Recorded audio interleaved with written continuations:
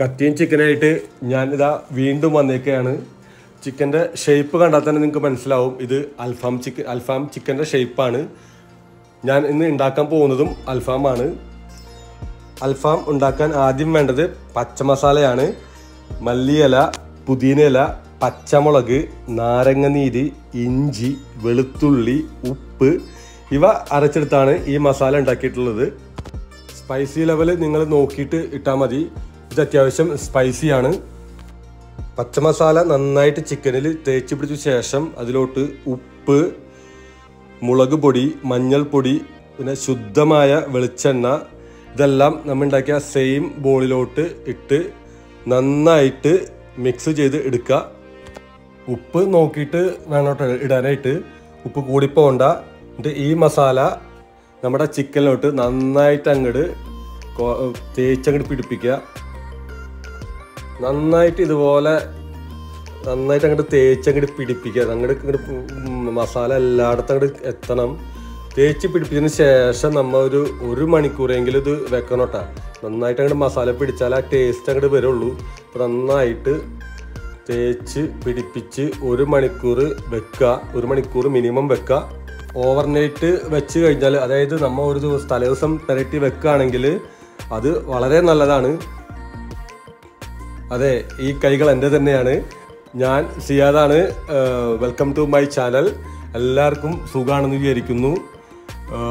ഞങ്ങളും സുഖമായിട്ടിരിക്കുന്നു അലഹമില്ല കുറേ കാലമായി നമ്മൾ കണ്ടിട്ട് വീഡിയോ ഇടാനുള്ള സമയം നമുക്ക് കിട്ടാറില്ല. അതുകൊണ്ടാണ് ഇനി വീഡിയോ ഇടാൻ വേണ്ടി പരമാവധി ശ്രമിക്കും.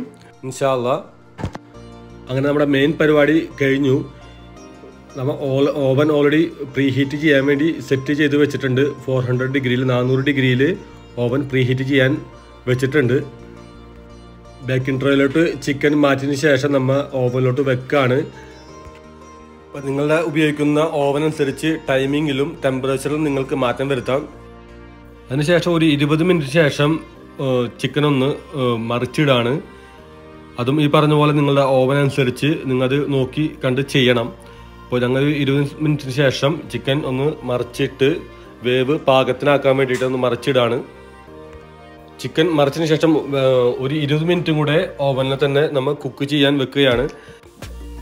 ആകെ നാൽപ്പത്തഞ്ച് മിനിറ്റാണ് കുക്കിങ് കുക്കിങ്ങിന് നമ്മൾ എടുത്തത്.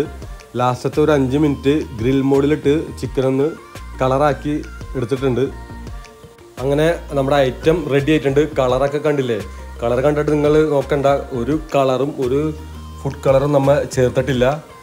നല്ല മസാല ചേർത്ത് നല്ല ശുദ്ധമായ വെളിച്ചെണ്ണ അതുപോലെ തന്നെ നല്ല പച്ച മസാല ചേർത്ത് ഉണ്ടാക്കിയ അൽഫാമാണ് റെഡി ആയിട്ടുണ്ട്.